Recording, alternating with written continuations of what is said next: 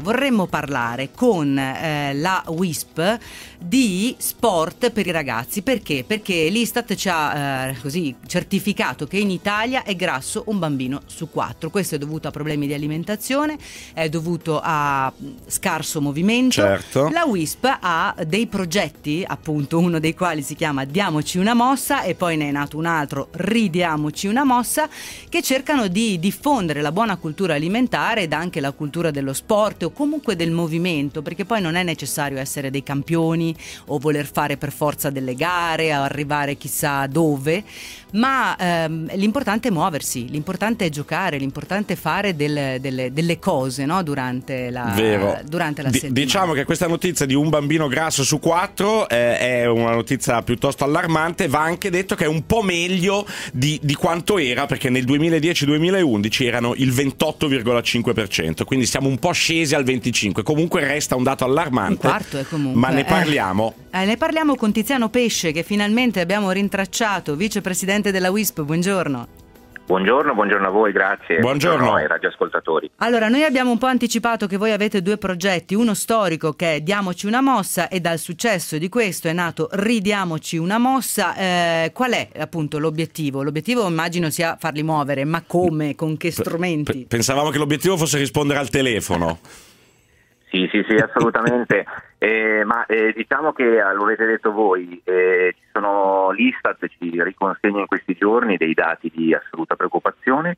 Vogliamo però essere positivi e leggere anche diciamo, l'importanza dello sport e della, dell'aumento della pratica sportiva negli ultimi anni che ha fatto diminuire ecco, il dato percentuale dei bambini, dei ragazzi che non praticano attività sportiva negli ultimi anni e pensiamo senza presunzione che associazioni come la nostra, come l'UIS, ma anche altri enti di promozione sportiva abbiano in questi anni fatto la propria parte lanciando, promuovendo non solo attività sportive disciplinari tradizionali, ma anche campagne di intervento, campagne di comunicazione. Diamoci una mossa che citavate poco fa, è per l'UIS una vera e propria campagna di eh, comunicazione nata intorno a metà degli anni 2000 proprio per promuovere nuovi stili di vita attivi per bambini e famiglie. Si parla ovviamente di attività sportiva, si parla di attività fisica, ma si parla anche di gioco e divertimento proprio come strumenti per coinvolgere i bambini e i ragazzi, mettendo insieme ovviamente quelle che sono le agenzie educative del nostro paese, a partire dalla scuola, la famiglia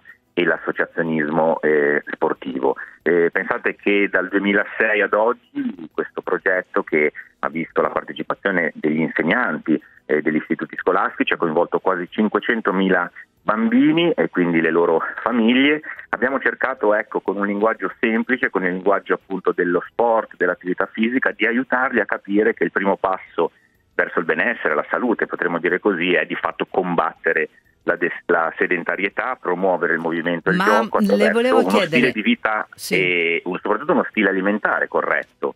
Certo, beh, vanno, devono andare di pari passo, ma una volta che i bambini hanno a disposizione diciamo, queste possibilità, eh, diciamo che si lasciano coinvolgere volentieri o sono follemente attratti no, da, da, dai computer, dai telefoni e quindi fanno fatica magari a lasciare? Ovviamente in questi anni è cresciuto l'uso dei social, di internet, degli smartphone, quindi i nostri operatori, gli insegnanti sono, dire, hanno sempre bisogno di maggiore formazione, di maggiori competenze, però vediamo che quando il coinvolgimento avviene appunto sul linguaggio del gioco, sul linguaggio della corporeità, i bambini e i ragazzi si fanno coinvolgere assolutamente e dimenticano anche di utilizzare gli smartphone, diciamo così. Eh, beh, magari se lo dimenticassero. Eh, oh, ci sono altri pro- c'è un altro progetto in particolare che ci ha colpito che nasce dall'Atlante dell'infanzia a rischio. Eh, sì. Abbiamo visto eh, i dati, no? I, i, ragazzi soprattutto di famiglie meno abbienti, meno acculturate, tendono poi a avere problemi appunto di obesità. Questo è, è, quindi è tutta una galassia collegata che va dalla povertà all'incultura. Eh, cercate quindi di avere dei progetti specifici su questi adesso.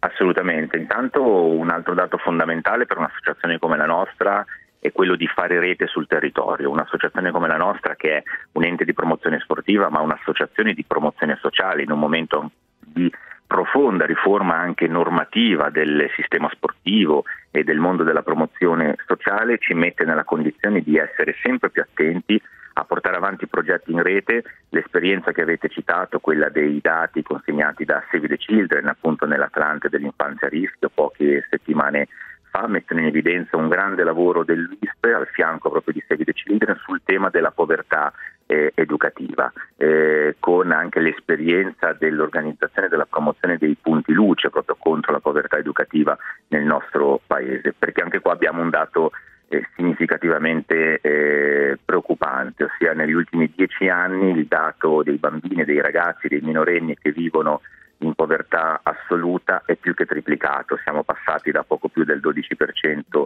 Eh, siamo arrivati a poco più del 12,5% nel 2018 e partivamo dal 3,7 eh, del esatto, 2008 partivamo dal 3,7 del 2008 siamo arrivati quindi ad avere oltre un milione e due di eh, bambini e di ragazzi in povertà educativa.